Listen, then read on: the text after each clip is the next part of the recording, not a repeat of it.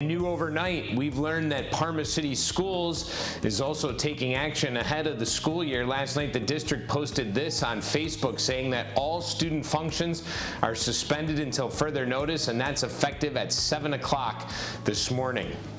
And that announcement comes following the Cuyahoga County Board of Health's recommendation that schools stop extracurricular activities like sports, band, and theater. The board is also advising school districts begin the semester using all remote learning. Several districts are now reconsidering their plans, and we're expecting to learn even more about this when the Board of Health speaks during a virtual meeting later today.